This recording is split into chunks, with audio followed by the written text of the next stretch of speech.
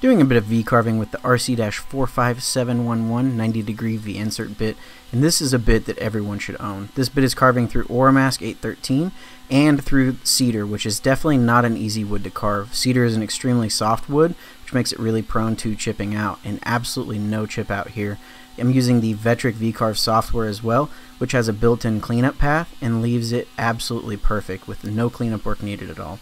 If you don't already own this one, you definitely need to own this bit. It's uh, pretty amazing. So anyways, we're going to get to this sign a little bit later and show the whole video. So hopefully you guys enjoyed it. Have a great day, everybody.